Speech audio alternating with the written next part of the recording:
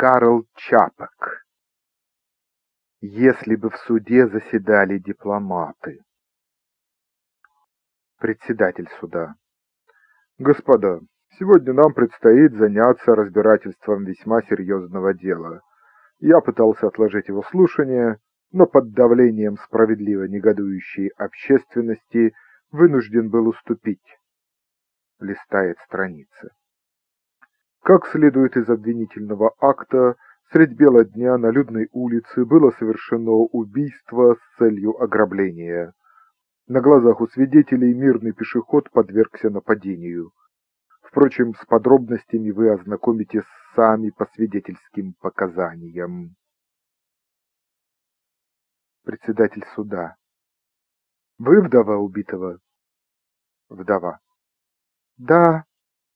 Председатель. Суд выражает вам искреннее соболезнование. Госпожа свидетельница, вы присутствовали при означенном несчастном случае. Вы можете рассказать, как все произошло? Вдова. Да, показывает пальцем. Вот этот злодей убил его. Господин с бородавкой на носу. Я протестую! Это публичное оскорбление! Председатель. Госпожа свидетельница, в суде ни на кого не указывают пальцем. Итак, вы утверждаете, что убийство совершил некто в протоколе не поименованный. Господин с бородавкой на носу берется за шляпу. Господа, я покину зал суда, если при мне еще хоть раз произнесут слово «убийство». Речь может идти лишь о вынужденной самообороне. Председатель суда. Согласен со столь удачной формулировкой. Итак, госпожа свидетельница, ваш муж спокойно шел по улице... Господин с бородавкой на носу. Пардон, снова искажение истины. Он не шел спокойно, он нахально нес деньги в сберегательную кассу и держался вызывающе. Председатель суда. В чем это выражалось? Господин с бородавкой до носу. Да во всем. Он давал понять, что никого не боится. Не исключено, что у него было оружие. Вдова. Неправда. Никакого оружия у него не было. Председатель суда.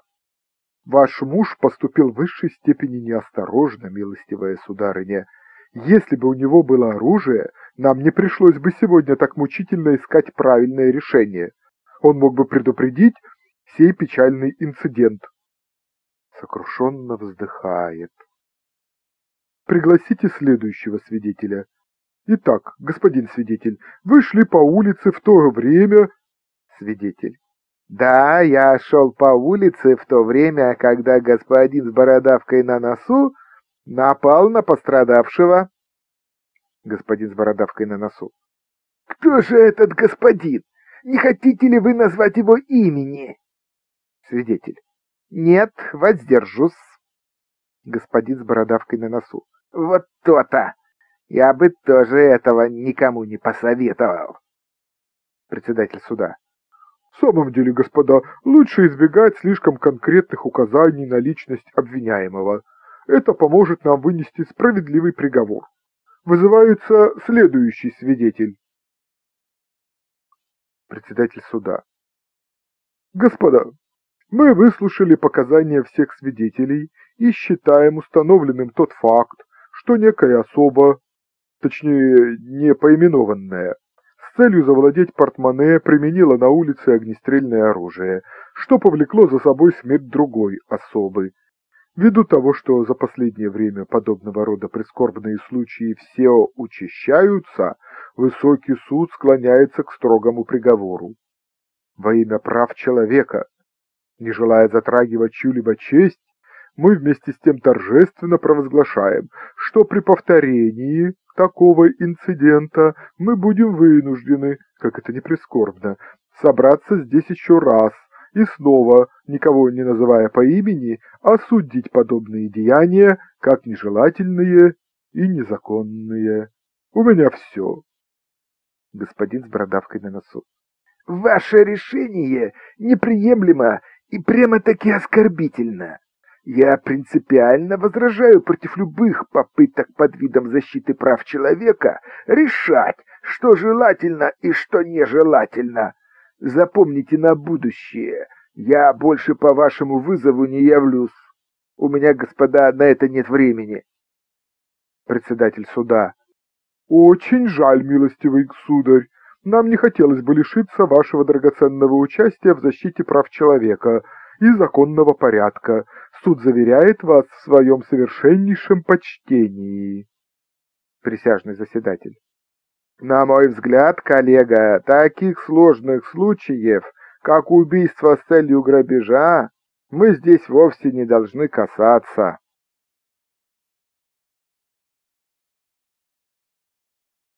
О всемирном потопе Не знаю, помните ли вы последний всемирный потоп? По-видимому, нет. О таких вещах, как заслуженное возмездие, люди с удовольствием забывают. Но это не важно. Я вам напомню. Произошло это, вероятно, так. Господь Бог разгневался на людей за распутство, рознь и прочие грехи и понял, что терпеть все это нету больше никакой его мочи.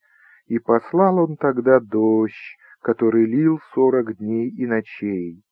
Государственный институт метеослужбы утверждал, правда, что это холодный циклон, пришедший со стороны Атлантического океана и вызванный низким атмосферным давлением над значительной территорией, но когда уровень Полтавской воды поднялся к самому музею, народ начал поговаривать, что это неспроста, что близится конец света. Так оно и было. Одни искали спасения в костелах, другие совершали набеги на банки и срочно забирали свои вклады. Хотя на что они сдались при конце света, одному Господу Богу известно. Третьи кутили напропалую и вообще жили непосредством, как, впрочем, и до этого. Многие из них и утонули именно в барах. Умные люди, конечно, заявляли, что с потопом надо что-то делать, возводить плотины хотя бы, и толпами стремились на добровольные работы, но планы этих плотин так и лежат в Министерстве общественных работ, и вопрос о них не разрешен и поныне. Народ бросился сам воздвигать плотины, где попало, но до плотин ли тут, если уже затопило Барандов, Панкрац, Богдалец, и Стршешовице, и вода все поднималась. В других городах и государствах и на других континентах было ничуть не лучше. Короче говоря, это было еще одно светопредставление, как и написано в Библии. Только, разумеется, некому было построить ковчег. Подскали затопило раньше всех, а жители Виноград или Дэвидс не в состоянии плод сколотить, не то что ковчег построить. Такой уж это сухопутный народ. И ничего тут не поделаешь. Конец света — это конец света. И жил в те поры один немолодой уже господин. Звали его то ли Киршнер, то ли Бездичек, то ли еще как-то. Выйдя на пенсию, он занялся археологией и все искал какие-нибудь доисторические памятники. Раз ковырялся он где-то в Глоубетине и выкопал какие-то глиняные черепки, не то чем-то попорченные, поцарапанные, не то покрытые письменами. Было их всего штук двадцать. И тогда пан Киршнер, или Бездичек, вбил себе в голову, будто значки эти не что иное, как доисторические руны, и решил про себя, что прочитает их.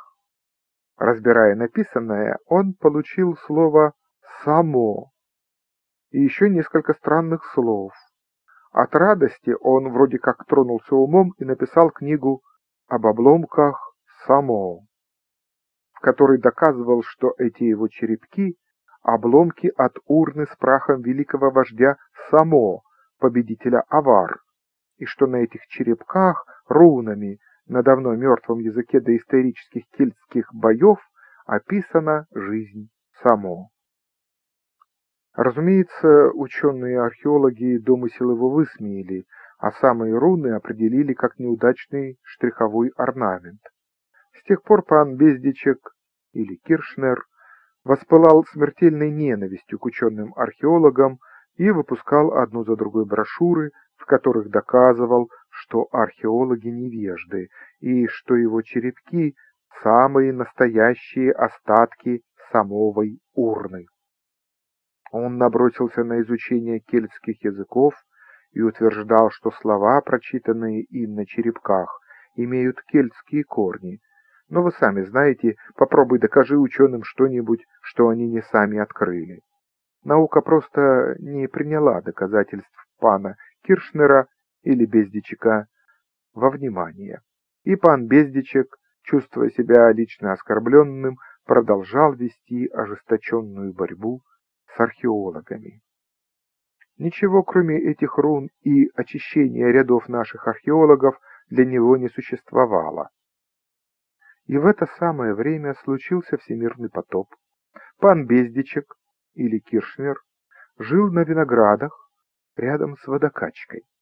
Ему было наплевать, что на дворе хлещет, как из ведра, потому что он сидел за своим письменным столом и писал разоблачительную статью против некоего профессора Андрейчика, или как там звали этого специалиста по кельтским захоронениям.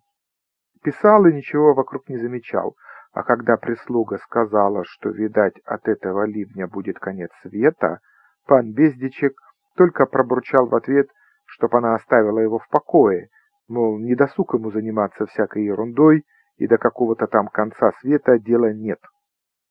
«Я покажу этому Андрейчику», — сказал он, — «я разделаю его, как селедку». Эти его захоронения из Оуголиц никакие не кельтские захоронения, а самые обыкновенные германские курганы, а этот идиот еще собирается меня поучать. И он выставил прислугу, мол, нет у него времени выслушивать ее болтовню, и строчил дальше. Тут к нему прибежал сосед, дескать, все жильцы их дома постановили строить плотину внизу у Кравина, чтобы остановить разбушевавшуюся стихию, и пан Киршнер тоже должен принять в этом участие. «Какие вам еще плотины, господи!» — сказал пан Бездичек. «Какое мне дело до ваших плотин? Я тут громлю этого тупицу, этого лжеученого Андрейчика, так что ему уже ни в жизнь не очухаться. В интересах археологии я должен его изничтожить, сударь. Подобный невежда не смеет шельмовать вымершие народы, кричал пан Киршнер или Бездичек. Меня ваш потоп не интересует, пожалуйста, не надоедайте мне с этим, уважаемый. Он сел и писал дальше а вода уже была по пояс памятнику Сватоплука Чеха. Последней пришла к нему его двоюродная сестра, жившая в Флоре. Она состояла в какой-то секте, члены которой сходились у одного каменщика на Альшанах, и там вместе совершали моления, чудеса и пророчества. Эта кузина сообщила пану Бездичику, что наступает конец света, и воскресение праведников, как сказано в Апокалипсисе, и чтоб он, бездичек, шел к ним и с пением торжественных гимнов ждал триумфа праведников. «Ничего себе праведники!» — возмутился пан Бездичек. «Молиться молитесь, а бороться против лженауки, проповедуемой этим Андрейчиком, так вас нет. Оставьте меня, ради бога, в покое с этим вашим концом света, пускай хоть десяток наступит, Дайте вот только расправлю с этим Андрейчиком и его кельтскими захоронениями. И он заперся, чтоб никто не отвлекал его от дела. Между тем вода подымалась все выше и выше, пока не затопила весь мир. Человечество погибло. Наверное, оно этого заслужило. Когда вода спала и достигала уже лишь Виноградской площади, на улице, покрытой слоем грязи, появился этот самый пан Киршнер или Бездичек. Высохший в щепку, он нес под мышкой рукопись своей статьи, направленной против профессора Андрейчика, и ужасно сердился, что не находит нигде издателя, который выпустил бы ему эту брошюру. С годами человечество снова стало размножаться, и новые люди удивлялись, как это пан Киршнер или Бездичек пережил всемирный потоп, а когда его об этом прямо спросили, он удивленно вытаращил глаза. «Какой потоп? Я ничего не знаю. В то время я был занят разоблачением этого неуча Андрейчика. Представьте себе, этот невежда выступил против моих руновых надписей. Между нами говоря, том, что пан Бездичек пережил потоп, нет ничего особенного. Давно известно, что людская злоба и фанатизм благополучно переживают все потопы и катаклизмы. Их не тронет даже конец света.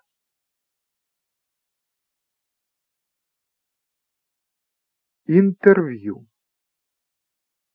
«Интервью», — заметил дирижер Пилат, пожав плечами.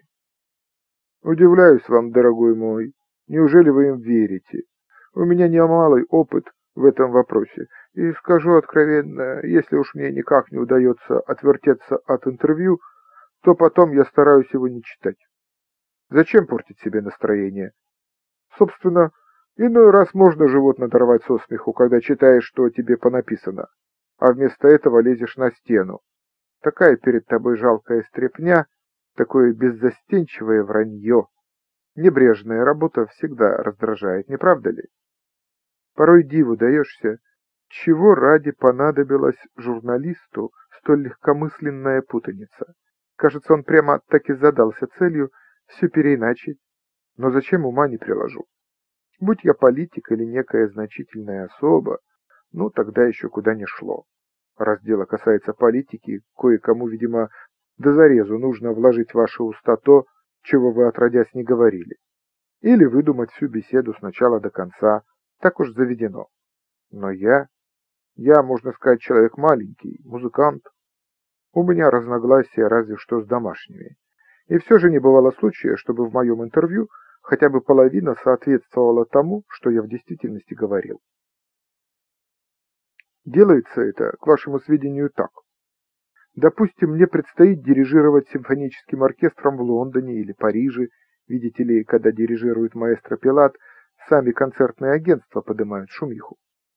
Не успеешь вымыть в отеле руки, в номер звонит портье. Мол, меня спрашивает какой-то господин. И по важному делу. Ясно говорю себе, пресса. Имейте в виду, газеты интересуются вами в первый день. На второй вы уже не новинка, и если хотите, чтобы о вас еще разок упомянули, вам по меньшей мере придется броситься под автомобиль. Ну что ж, заставляю этого господина минутку подождать. Так почему-то принято в подобных случаях. Ну и... Прошу, чем могу быть полезен? Молодой человек расшаркивается. Дорогой маэстро, такая-то газета, хотела бы поместить о вас несколько слов. Интервью? Принципиально не даю никаких интервью. «Нет-нет», — защищается молодой человек, — «всего несколько самых непринужденных слов». Смиренно отдаю себя ему во власть. «Что ж, сударь, приступайте». Молодой человек вынимает блокнотик и постукивает карандашом по зубам. Сразу видно, что он обо мне ровно ничего не знает. Музыка его не интересует, и вообще он понятия не имеет, о чем со мной толковать. С минуту он смотрит на меня неуверенно, потом начинает. Не могли бы вы, маэстро, рассказать что-нибудь о себе? Этот вопрос всегда приводит меня в бешенство. Мне нечего о себе сказать, отвечаю я, но если угодно, поговорим о музыке. Молодой человек благодарно кивает и что-то старательно записывает. «Когда вы начали заниматься музыкой, маэстро?» – спрашивает он далее. «С детства, говорю. Учился игре на фортепиано». Молодой человек усердно пишет. Ваша родина? Маршов. Где это? В Чехии. В Крконошах. Где, простите? В Чехии, в Крконошах. Простите, как вы сказали? Крконоши, объясняю ему. Крконоши. Ризенгеберге. Монжан. Giant Mountains. «Ага», — говорит молодой человек и поспешно что-то строчит. Не можете ли вы рассказать о своем детстве? Например, кем был ваш отец? Учителем. Играл в костеле на органе. Это были мои первые музыкальные впечатления, говорю, чтобы поскорее добраться до музыки. Знаете, старый чешский педагог, музыкант по призванию, самородок – это у нас семейная традиция. И так далее. Молодой человек пишет и удовлетворенно кивает головой. Как раз то, что нужно его газете. Браво, маэстро! Наконец-то я отделался от него и облегченно вздыхаю. Гора с плеч. Знаете, я люблю бродить по чужим городам, где никто не обращает на тебя внимания. Поверьте, во время концерта мне порой хочется зашвырнуть свою палочку, такой испытываешь ужас, такое отвращение к тому, что на тебя смотрят люди. В ком нет настоящей актерской жилки, тот не должен появляться перед публикой. Но это особый разговор. Утром получаю газету. Броский заголовок «Беседа с маэстро Пилатом». Ладно. Маэстро Пилат принял нашего корреспондента в роскошном номере отеля X. Стоп. Да ведь я разговаривал с этим молодым человеком в холле.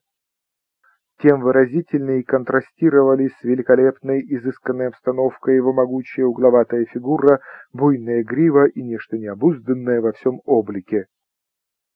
Ростом я едва тяну на метр семьдесят. А что касается гривы, ну да оставим это. Он принял нас необычайной, я бы сказал, бьющей через край сердечностью. Хо-хо, думаю.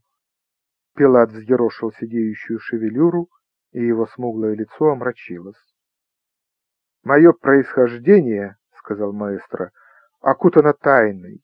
Рассказать о себе я почти ничего не могу. Знаю лишь, что родился в Венгрии, неподалеку от Варшавы, на лоне диких гор-великанов. Кругом шумели леса, и, словно органы в храме, гремели водопады. Это были первые мои музыкальные впечатления. Скажу вам по секрету, мой отец старый цыган, дитя природы, как его предки. Браконьерство, свобода и страстная игра на скрипке и цимбалах — все это вошло в их плоть и кровь. Я и теперь еще люблю укрыться где-нибудь в таборе своих сородичей и ночью у костра играю на скрипке старинные песни, памятные мне с детства. Короче, я бросился в редакцию газеты и разыскал шефа.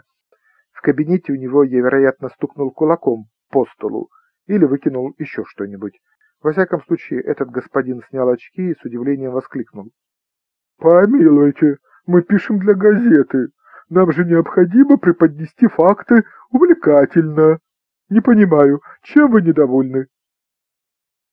Сейчас-то я не стал бы так горячиться. Ко всему привыкаешь. Да, пожалуй, это неизбежно. У тебя своя собственная жизнь, но в глазах прочих она выглядит совсем по-иному. А уж кто приобрел известность, тот и вовсе не принадлежит самому себе.